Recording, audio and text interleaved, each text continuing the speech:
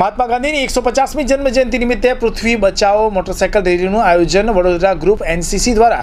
Gujarat NCC ડિરેક્ટરોના માર્ગદર્શન હેઠળ mega પ્રદૂષણ જાગૃતિ પખવાડિયા અંતર્ગત કરવામાં આવ્યું હતું. પ્રસ્તુત પૃથ્વી બચાવો મોટરસાયકલ રેલીનો ફ્લેગ ઓફ દ્વારા શુભારંભ મહાત્મા ગાંધીના પ્રખ્યાત મીઠા સત્યાગ્રહ સ્મારક દાંડીથી Vadodara group NCC commander brigadier Charandeepsingh, Sena medal અને Girishbhai Pandya, IPS superintendent of police Navsari દ્વારા સંયુક્ત રીતે કરવામાં આવી હતી. બાઇક સવાર કેડેટ પૈકી આઠ છોકરા અને આઠ છોકરીઓનું નેતૃત્વ છ ગુજરાત ગર્લ્સ એનસીસીના કમાન્ડિંગ ઓફિસર કર્નલ ઉમાકાંત શર્માએ કર્યું હતું.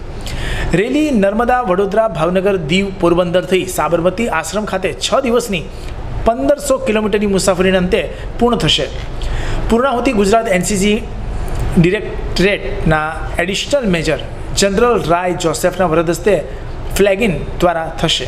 રેલી દરમિયાન સવારો દ્વારા પાણી સંગ્રહ, વૃક્ષારોપણ, પ્રદૂષણ નિયંત્રણ, હરિયાળી પ્રકૃતિ અંગે વ્યાખ્યાનો અને શેરી નાટકો, Dandi, Statue of Unity, Somnath મંદિર, દ્વારકા મંદિર, ગાંધીજીના જન્મસ્થાન પોરબંદર અને સાબરમતી આશ્રમ જેવા જાણીતા પ્રવાસન સ્થળોની મુલાકાત લેતા પ્રવાસીઓમાં પણ જાગૃતિ વધારાશે.